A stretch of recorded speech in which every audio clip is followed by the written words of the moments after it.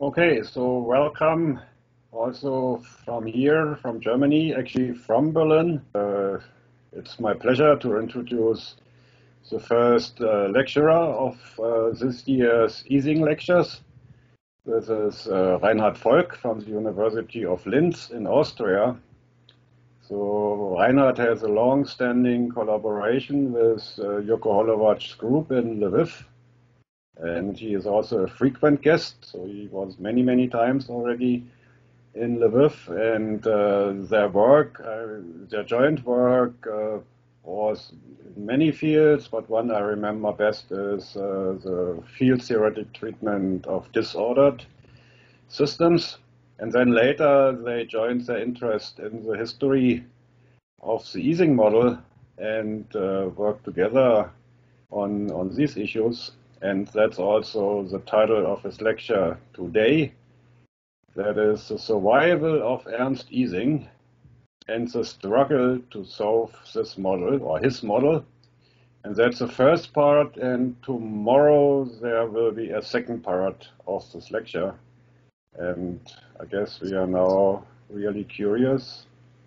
Maybe also Thomas Ising is curious to hear what Reinhard has to say about the survival of Ernst Ising. Okay, so thank you for the introduction and uh, thank you for inviting me to give a talk uh, at this uh, meeting.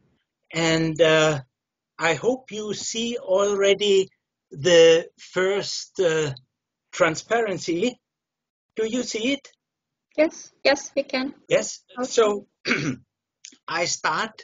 Uh, I welcome everybody, especially also Tom. And uh, here I have a citation of Giulini. He begins his summary on his article on Wolfgang Pauli's classical non-describable two-valuedness with the statement, understanding the generations of new ideas and the mechanism that led to their acceptance is a common central concern of historians of science, philosophers of science, and the working scientists themselves. And uh, I share this statement, but how knowledge flows via which persons and which institutions depends essentially on political and economical circumstances.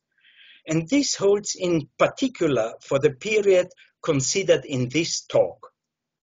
So let me go back and then follow the development of the ideas step by step. So 100 years ago, the Spanish flu ended in the 20s. The Great War was over and the roaring 20s began. Not only in Berlin, but also in Hamburg, people danced on the volcano. However, the funding, founding of the University of Hamburg in 1919 was more important for science. Uh, you at these universities at the beginning, four persons are important uh, for this talk. There was uh, Wilhelm Lenz, he came 1921. In the winter semester 1922, Walter Schottky, then 22, Wolfgang Pauli. In 1923, uh, we had Otto Stern at the university. It was the Hamburg University, it was the first parliament chosen by the citizens of Hamburg in a free and fair election, making University Hamburg the first democratically founded university in Germany. And it opened on Ernst Ising's birthday on 10th of May 1919. The young university early days in the 1920s were marked by success, thanks to the outstanding Solers. It soon rose to international fame during the era of Weimar Republic. These four persons are very important for our story. Wilhelm Lenz, he was the professor for theoretical physics. In 1921, he got the chair. He studied in Göttingen, then was in Munich with Sommerfeld, was in the First World War radio operator, extraordinarius in Rostock, and then he came to uh, Hamburg. He worked uh, especially also on ferromagnetism. And one of the big problems was the understanding of the Curie temperature, a term we now find, uh, find already in TV series. For instance, in the CSI series, Bad Works. Um, a teenager died from inhaling smoke during a fire before firemen came, could rescue her. The CSI people had to uncover the circumstances of her death. And they proceed in their analysis by using the property of a refrigerator magnet. You see, Nick has it in his hand. He said, demagnetized. And Catherine, I'm not following. Okay, the Curie point is the temperature at which all materials lose their magnetic properties. Okay, she said. For iron, it is about 932 Fahrenheit or 77.3 degrees of Kelvin. In, and so he knew what was the temperature in the kitchen. But physicists have a little bit more uh, to say to the Curie temperature. You see here how the magnetization goes down with, with increasing the temperature, and here you have the Curie temperature. The understanding was that you have small little elementary magnets which order when it comes to magnetization. And this problem had two levels, a microscopic level where come these small arrows, these small elementary magnets from? It should come from the electrons, and it has a macroscopic level.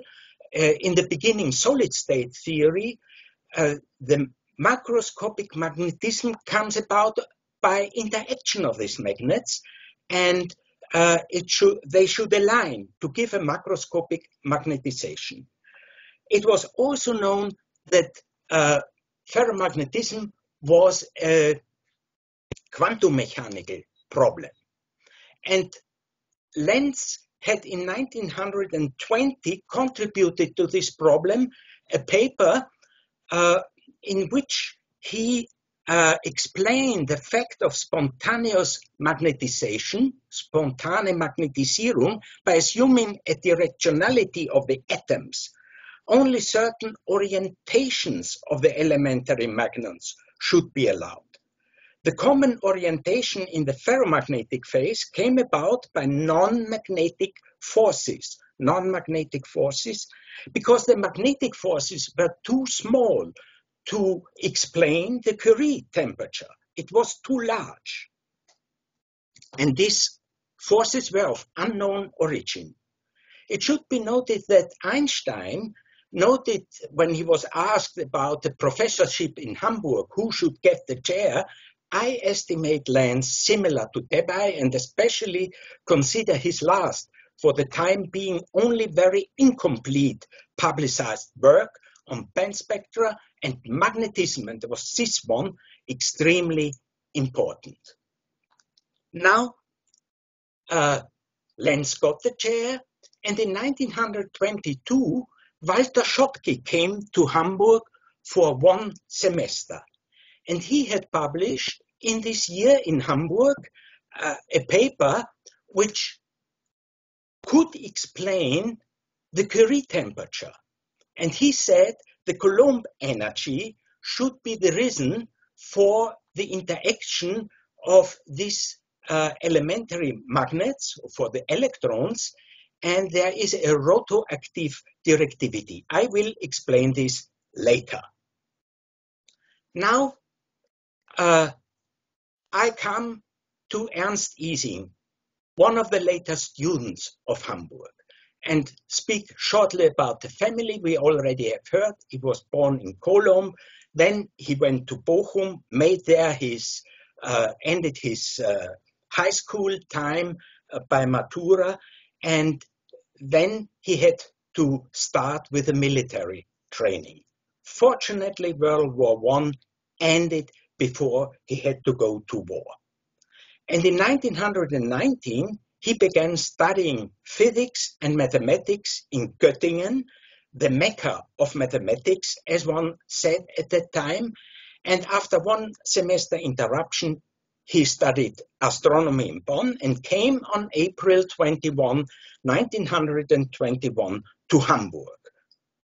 I would like to mention that about the same time in 1920, another student in Norway entered uh, the university. It was Lars, a young man named Lars Onsager.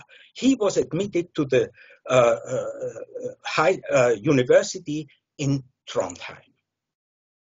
Now, you see here the persons which were working on the problem of magnetism in Hamburg. Here again, Lenz, who had the chair, the young student who came from to Hamburg, and he got a, a, a thesis of the topic of to explain macroscopic magnetism. 1922, Pauli came from Göttingen to Hamburg for habilitation, and he worked, so to say, on quantum mechanics, but on the atomic magnetism, on the explaining how atoms and molecules behave in magnetic fields. In 1922, from Würzburg in the winter semester to 1923, uh, Schottky was there with his uh, paper. Now, I think this paper uh, was the reason that end of 1922, Lenz suggested Ising to find the magnetization of ferromagnetism. There is today no exact solution for the Ising model considered in a magnetic field in high dimensions. So the task of Ernst Ising was a mission impossible. And I would like to start to look on this mission. Here you see, so to say, the survival of Ernst Ising. It's from the year 1966. Here you see his struggle, the thesis, what he could reach when he had got the topic. And on the other side, you see Father Brown, uh, a person from Lewis Carroll's poem, which was cited by Barry McCoy, an expert in the Ising model, in a talk 20, uh, uh, 2016 when he spoke about his understanding, or better to say, his not understanding the Ising models. And in the background, you see a sculpture called All Over Store, which is made of ball pens in a room. You see, so to say, little elementary magnets. Now let me come immediately to the thesis of 1924.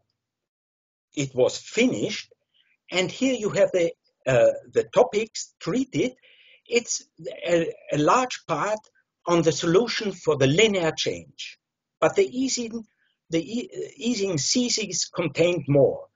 It contained then the trials to go to the three or higher dimensional space. So he looked at transverse positions of the elementary magnetons and more positions uh, possible instead of only two. And then he looked at the double chain with uh, uh, simultaneous action of ejectant elements. So it is called the Ising ladder today. And he also looked at the linear chain, which not only next nearest neighbor interactions, but also next nearest interactions. And uh, he also gave uh, an introduction to this topic. Um, and you see here the citations he had made in the thesis.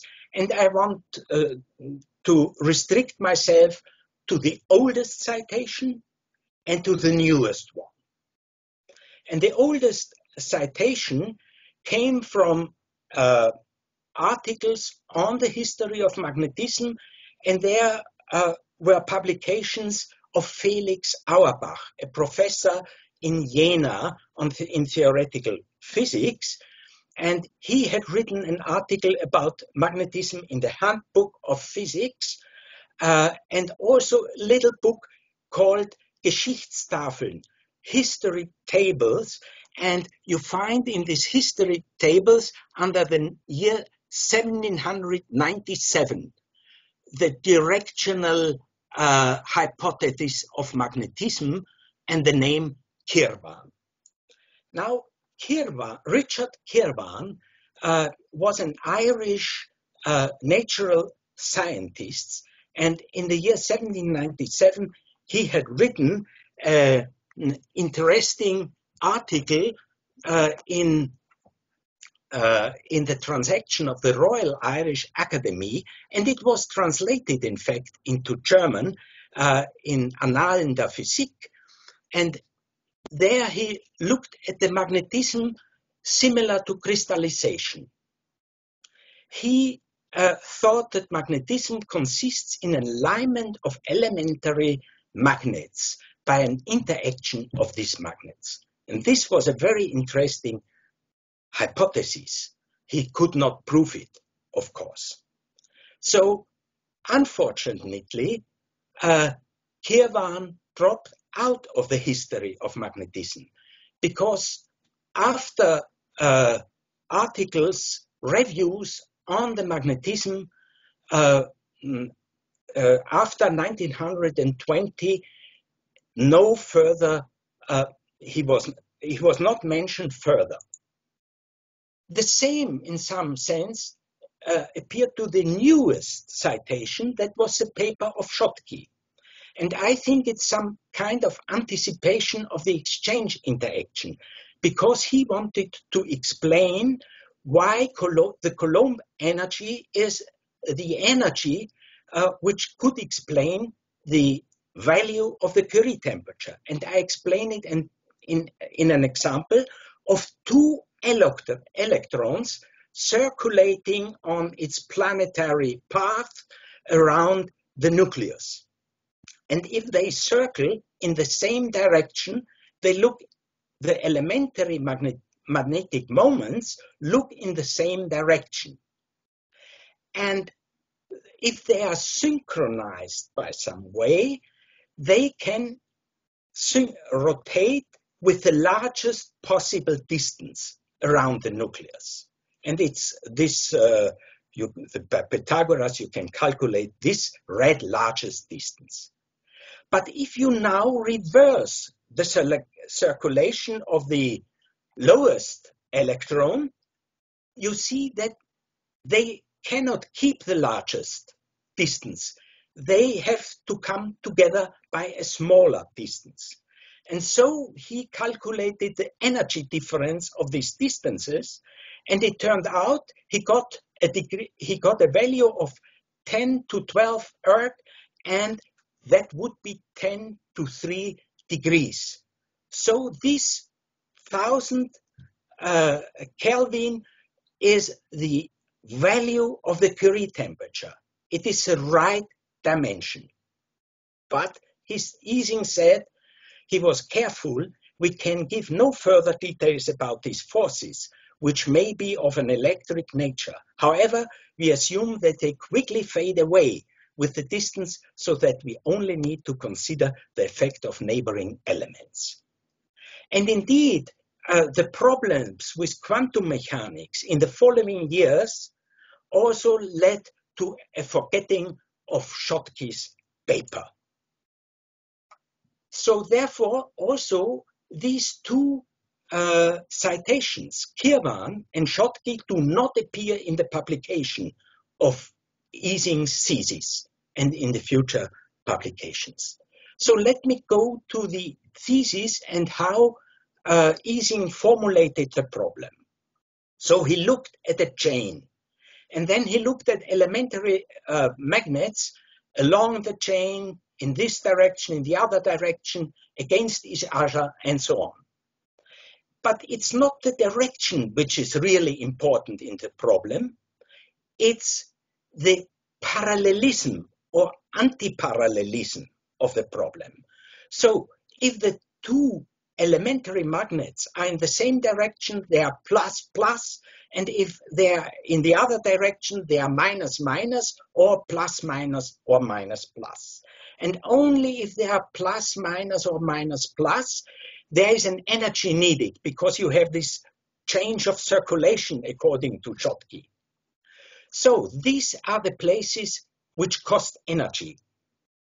And therefore, knowing this energy cost, he could calculate the partition function, how it was calculated at that time.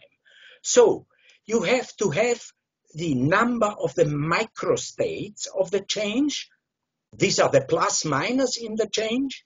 And then what they cost in energy, the weight of these microstates. And these are uh, with the plus states, the minus states, in a magnetic field, it costs energy. And at the energy places, you have, uh, it costs energy. And the number of energy places is sigma, the number of the plus places, nu 1 and nu 2. And now, Ising had formulated it to a combinatorial problem. I go through very quickly through the uh, calculation. So first he has to find the number of microstates, the plus and minus. And these are given by combinatorial. It's only, so you have only uh, integers, the number of the plus places, integers of the number of the minus places, and the whole integers of the chain n places. And therefore you have to look at the distribution of these places at the possibility, and these are given by binomial coefficients. So he could calculate the number of microstates depending on the orientation of uh, the boundary uh, uh, elementary magnets, and it's given by this binomial uh, uh, uh, formula. Now, the partition function has then uh, to be weighted by the weights, by the Boltzmann weights, uh, which are already also given by the numbers nu1, nu2, and uh, the uh, uh, element, the energy places, and you have to calculate the sum, and the sum has here the total number of the chain. How many places are in the chain? And so you have to calculate the partition function as a number of uh, the length of the chain. That is very complicated. You cannot calculate this one. And therefore here there are I, following idea. It's a trick. So do, do not look at the partition function of one length. Look at the partition function of all lengths, multiply by a number x, by a parameter x, to the power of n, sum it over, and you get a function. And let us calculate this function. This is a re re rearrangement trick, I think very clever. And uh, so he did this, he calculated this function f of x. So you see, he summed up over all n, and n disappeared. But what appears is x. So he, some functions of x appear. It's complicated, but uh, I do not want to go into detail, but to show you the tricks. So he lo lost n, and the function of x can be calculated. He could do these sums, and so it's a well an easy function of x. It's a rational function. And then the trick is to expand this function again in powers of n.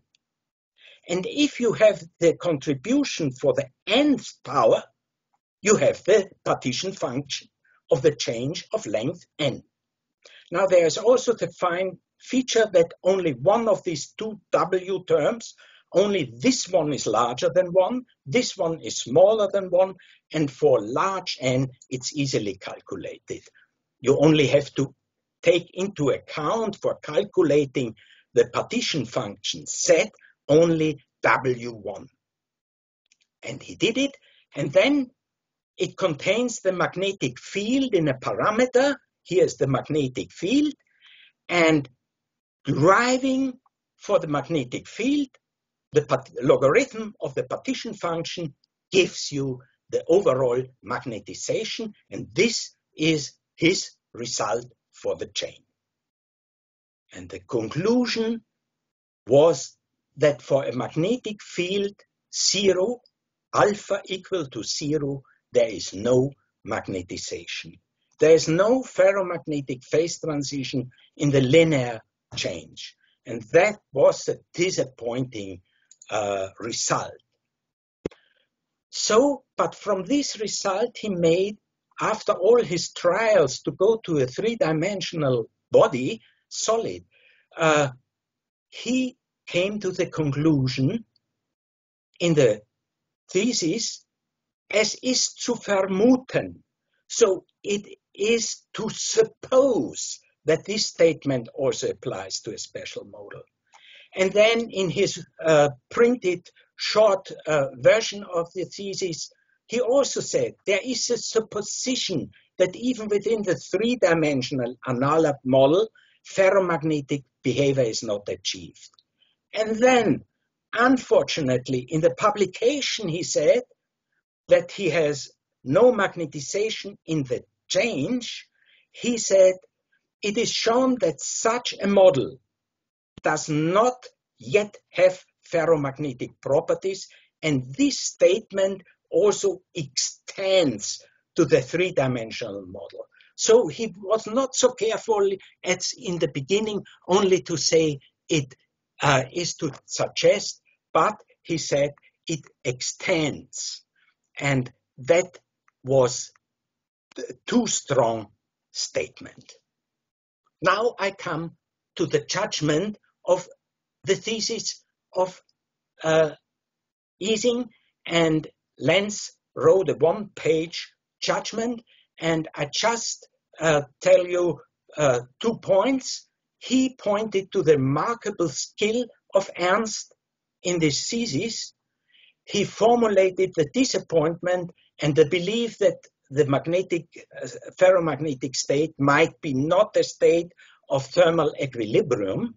And then he came to the judgment of the thesis, and he first he wrote good, second, but then he changed to excellent, and he included that there are also methodically new things, and therefore he gave excellent. Now people didn't look so much for this excellent, uh, for this mathematic, uh, mathematical new things, but I looked at the literature and found two citations.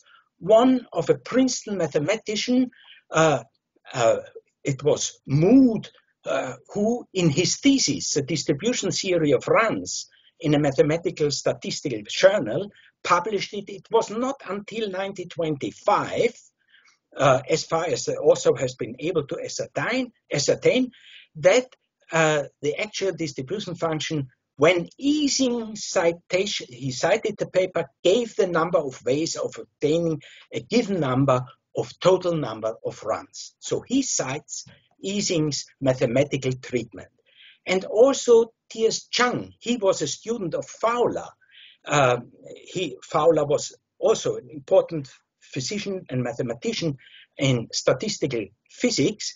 And he also uh, noted that Ising gave for the first time a formula for the arrangement with given number of neighbors and so on. So these were the mathematical new things, already very late citations. Now the Ising uh, uh, paper was immediately cited at the uh, meeting of the um, German Physical Society by Herzfeld. Herzfeld uh, was uh, the first who commented Ising's the, the thesis. He gave also a Peierls-like argument that in the chain no ferromagnetism is possible. It's a usual chain later made by uh, uh, Landau, namely that the, the entropy term is larger uh, for the unordered uh, uh, microstates than the energy term, and therefore uh, unordering is always winning in the free energy, and you never get an ordered state with very low entropy. He also commented Schottky's paper and concluded to Schottky's arguments, so the question of the nature of the internal field in ferromagnetic bodies is still open. I want just to make, mention that Herzfeld was born in Vienna, where he also finished his studies, and he belonged to what uh, Elliott Montroll called the Vienna School of Statistical Thought. He wrote this in a paper in 1984. Herzfeld then found no position at the university in Vienna and he uh, emigrated to uh, the States and uh, uh came to Hopkins University in Baltimore and later uh, in Maryland, and where he got a regular faculty position. And so, also in this way, statistical physics came to America. Now, the second important point for uh, the Ising model is the breakdown of Bohr-Sommerfeld's quantum mechanics. We have seen the reservation against the arguments of Schottky, against the planetary motion of the electrons around the uh, nucleus in the atom.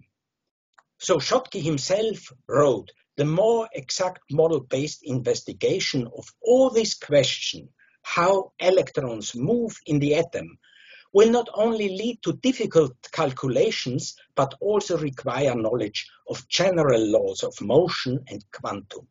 We are currently in no way sufficiently informed of that. How should synchronization come about and so on? And Pauli worked on this problem together I have to say, with Heisenberg, for instance, two young uh, people, uh, they were not satisfied with the current uh, Bohr-Sommerfeld theory of quantum mechanics. There were big problems, the splitting of spectral lines in a magnetic field, the anomalous Zeeman effect, and they could not calculate the energy levels for atoms and molecules with more than one uh, electron. So Heisenberg wrote to Pauli, for instance, all existent helium models are false. So Pauli treated these models in a publication, in two publications, which were published in the same issue of the Zeitschrift for Physics, uh, 31 where Ising published his thesis. It was in the year 1925. And he said and explained the anomalous Zeeman effect, the splitting of the lines uh, in a magnetic field. According to this point of view, the doublet structure, the splitting of the alkali spectra and the breach of the Larmor theorem came about by a peculiar, classically indescribable kind of ambiguity in the quantum theoretical properties of the luminous electron. And immediately after, he found uh, the Ausschlussprinzip, the exclusion principle. In an atom, there cannot be two or more equivalent electrons for which the values of all now four quantum numbers coincide. So this peculiar kind of ambiguity was a new quantum number, which could be plus or minus, one or zero, and so on. It is the spin variable of the electron. And this principle he formulated said that uh, if there are two electrons, they have to be in two, in not with all four quantum numbers now, they could not be even. equal. And therefore, he could explain how the periodic systems, how the electrons fill the shells in the periodic system. Now, later, immediately later, so to say, uh, one looked for a classical explanation of the spin. And the first was Kronig. He asked Pauli. Pauli said it's a funny idea and he should not publish this because Pauli didn't believe on a classical explanation of a rotating electrically charged electron which creates an elementary magneton. But two young other people, Uhlenbeck and Goudsmit, did, and Pauli then themselves uh, worked with Dirac also on this new degree of freedom on the quantum mechanical level. And he found what's called the Pauli matrices. And uh, the interesting thing is that in order to understand this spin, it's not just the rotation of a, of a sphere, because if you would classically rotate a sphere, it would come to the same state after 360 degrees of rotating. But the spin comes to its initial uh, uh, point after 720 degrees rotation. Though it's something new, it's something, a new symmetry. And Dirac also uh, could uh, create a theory including the spin. And I have heard an interview with him where he said he tried to uh, make a theory for, for the electron, not including the spin, but symmetry reasons and relativity theory forced him to include the spin. Now, all these developments led finally Heisenberg to the uh, formulation of the new quantum mechanics. It was a matrix in matrix form. Uh, I cannot go into details, but within, within the new formalism of quantum mechanics, he could explain the ferromagnet, how ferromagnetism could come about. And it was very essential to have to know already that he has to consider the spin. So he wrote in his uh, introduction, and this is from an uh, English translation, Weiss molecular forces, it's a mean field theory, will be attributed to a quantum mechanical exchange phenomenon. And indeed, it will be treated as the exchange process. He found that the description of the electron needs a, a, a wave function uh, which contains the coordinates of the electrons, the space, but also it should contain the spin state.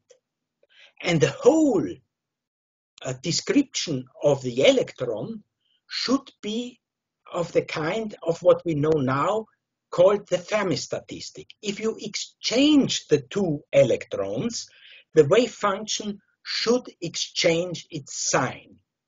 And this could be done in two ways. Either you have a symmetrical form of the spatial wave function, or you have an antisymmetrical form of the space wave function.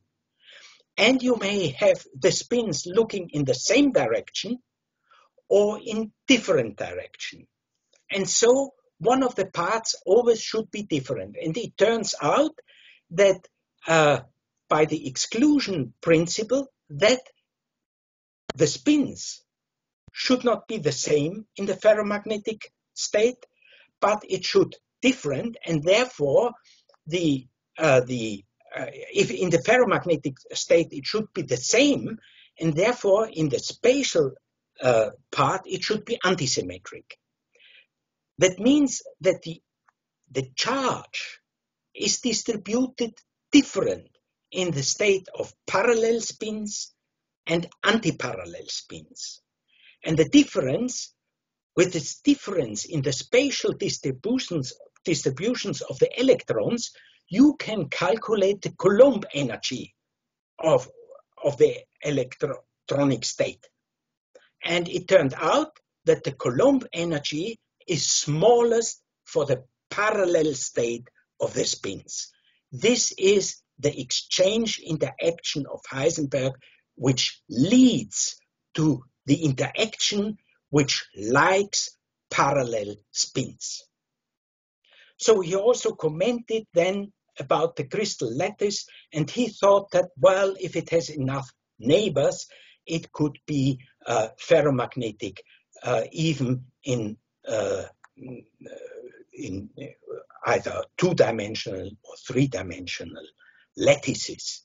And the quantum number of the electrons that are responsible for magnetism must be larger than three. We know better today.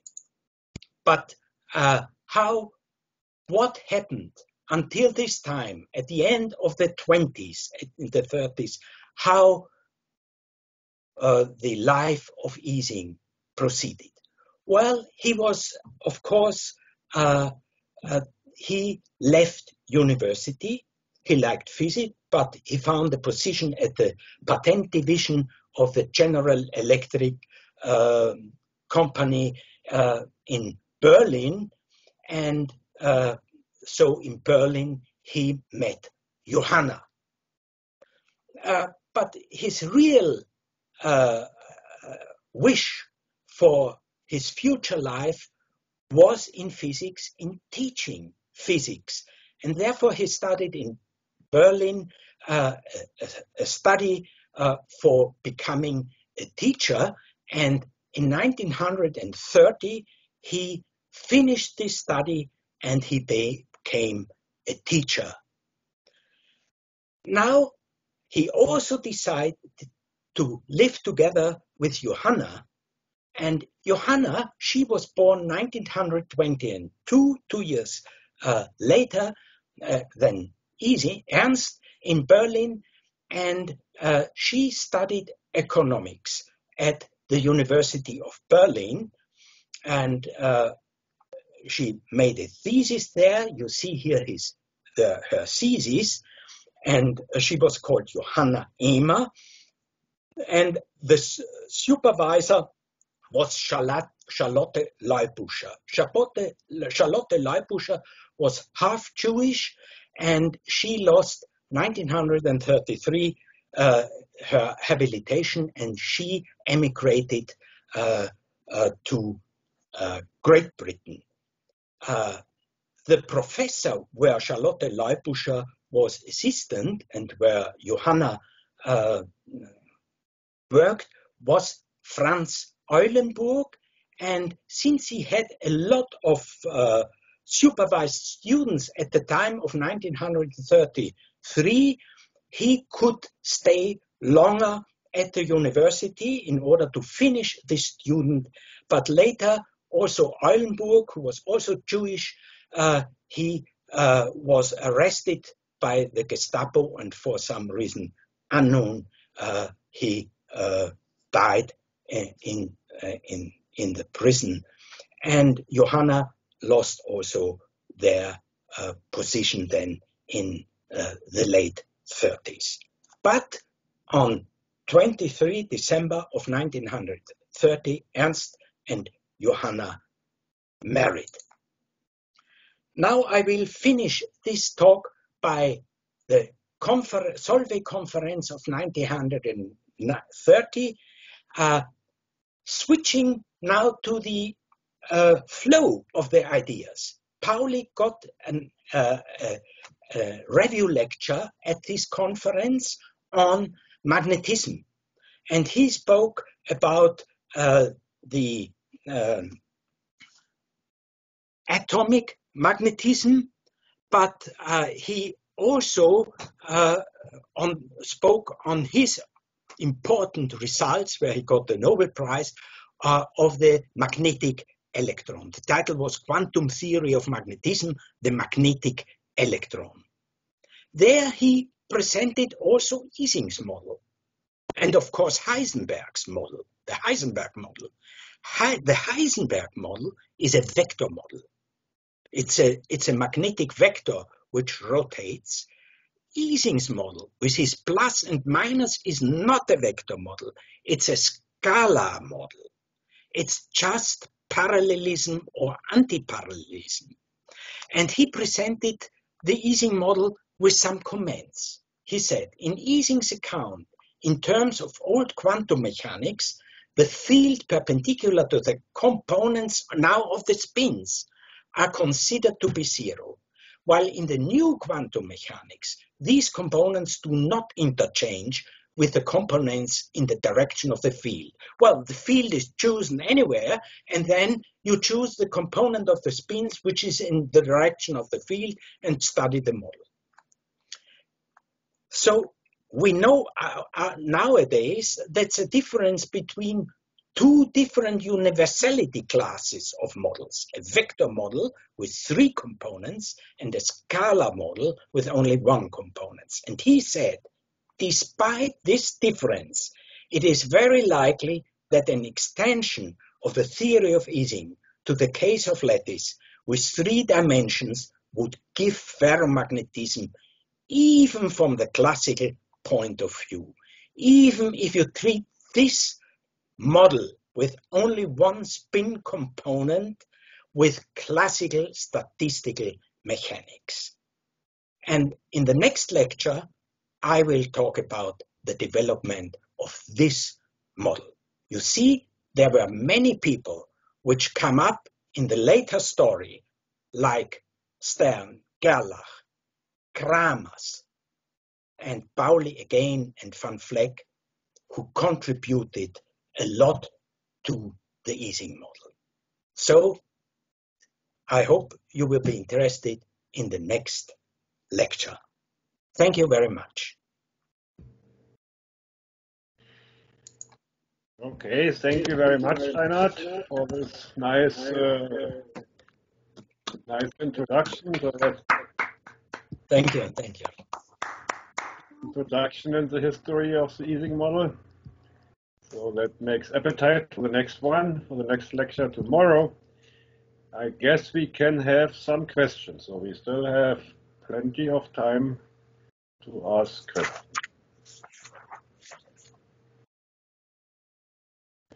If there's none, then I just start. I mean, the Ising, I mean, the solution by Ising of this one-dimensional chain, this was done with free boundary conditions, no? Is that right?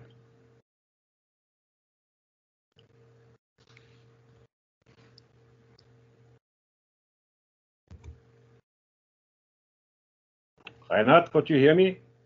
You're muted, maybe, Professor Reinhard. Uh, is, is there any, any, no, there's no question. So I closed the, my, uh, I asked, I asked just for questions and uh, some was technically, it was not really working. So, I mean, I had the question, ah. yeah. the solution of Ising of this one-dimensional chain that yes. was with free boundary conditions. Is that true? Open boundaries? Yes, it was open boundaries. And you see, I had some variable delta. And so yeah. he started with a spin up on one side. And then he asked if at the end of the boundary, uh, is the spin up or down? And therefore, he had two contributions to the microstates. And so he considered this. Uh, but as I will show you tomorrow, it was immediately generalized to closed boundary conditions and so on. And what I have to discuss is the thermodynamic limit. And this will be also in the next section. Well, I wouldn't discuss it, but it was not known that the thermodynamic limit is something important. So the boundaries were even more complicated, no? which he considered. Huh?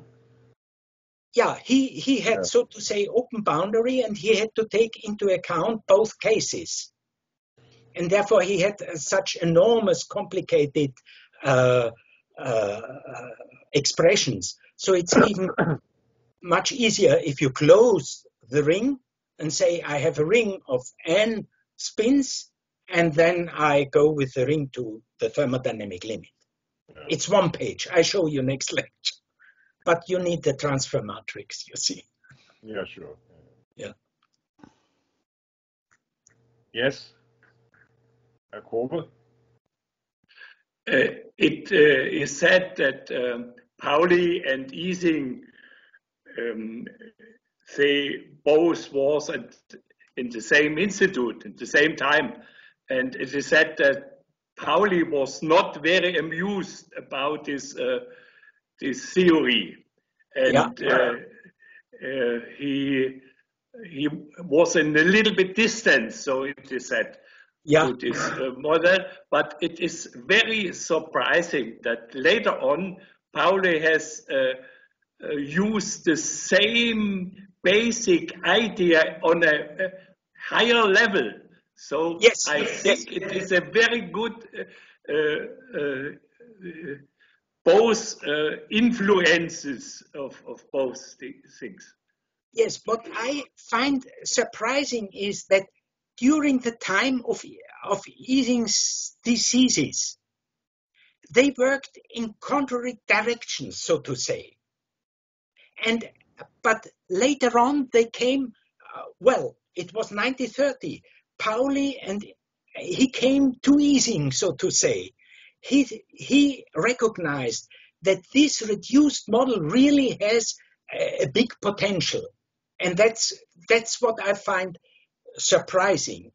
I mean, I also think that uh, Pauli, uh, well, Ising said himself that he discussed very much with Pauling, and as I give you a citation tomorrow, where Ising himself said that the, the old quantum mechanics, which was a basis, in fact, for his thesis, was very under strong discussion. And The- so There's a, the problem of di- dialectic of science. Yes, yes. So it's a, it it was a it was a fight of two uh, positions, and out of this fight then came came the result of the Ising model.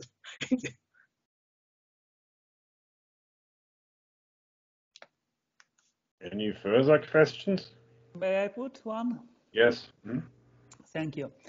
Uh, it was citation uh, in the second part of your talk where it was written that uh, uh, I believe that when the uh, on other lattices, when the number of neighbors is eight and larger, Yes. there will be transition. For me, it sounds it's not about dimension, but that's about number of neighbors.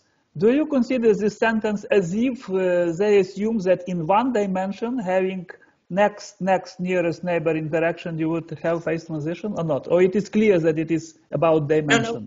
no, no, no. I just I I just mention it for that reason, because I mean they started from the idea that you have elementary ma- magnets which uh, interact, and the interaction is quite different.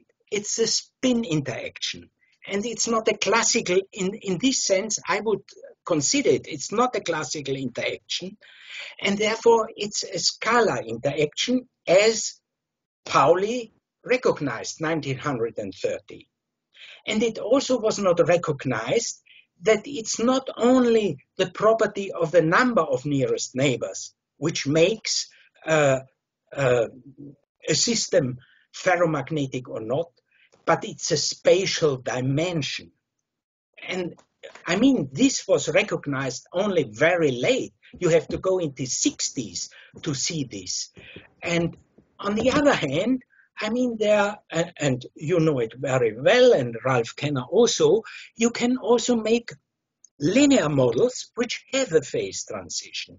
They are a little bit more complicated. They have more states and so on. That's the physics of to look for universality classes and what are the characterization of universality classes. Even you see that for two dimensions, you can say below two dimensions, you do not have uh, two-dimensional vectors ordering magnetically. You need something else, Kosterlitz-Thouless, and so on.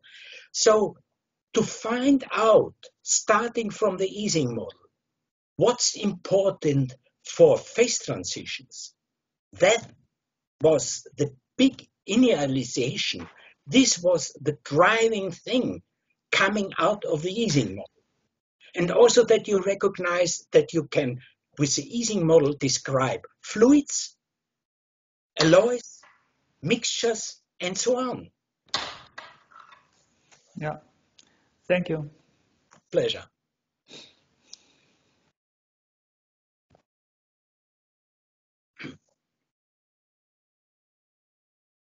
Any further questions? Yes. We cannot hear you. Turn the speaker. My father was known for the first half of his life as Ernst Ising. In 1947, when he came to America, he added an E and it became Ernest Ising. Yeah, And I just thought I'd point that out. People Yeah, have asked. we so uh, I would start with this name only when he already had reached the United States. You see, then Ernst became Ernest and Johanna became Jane.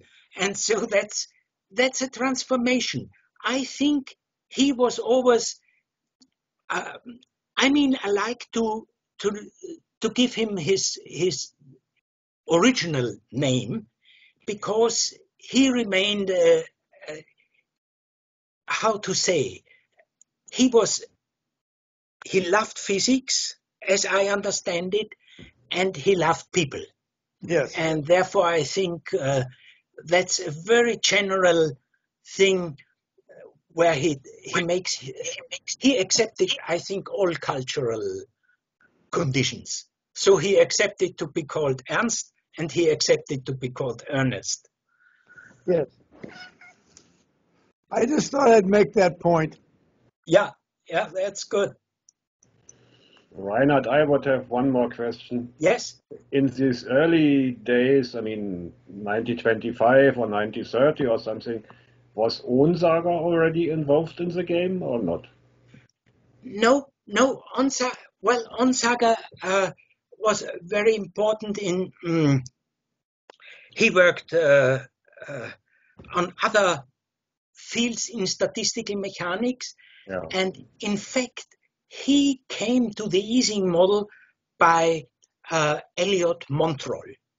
hmm Elliott Montroll introduced him to the Ising model, Yeah. and because of his position, and I will tell you tomorrow, because Onsager was married with an Austrian wife, he had much time at the Second World War because he was not involved in the uh, programs of military uh, looking for the atomic bomb and so on. And therefore, introduced by Montroll to the Ising model, he started to do it Mhm. but he only could start to do it because other people have found very important features of the Ising model before. Yeah. But anyway, it was a it was a really a big work and not the end work. So I hope to end tomorrow my talk with uh, Jan and even a little bit later. We entered relatively late then, yeah? That's what you say. He entered relatively late to the Ising model, but he had enough contacts to be Yeah, informed on problems. In fact, he was not a physic- physicist. He was a he had a doctorate in chemistry, Mhm, Yes. Mhm. and and there- therefore he was he, he didn't belong to this uh, uh, to the the physics people, so to say. But he had enough contacts in America to people working in these fields. Okay, thank you.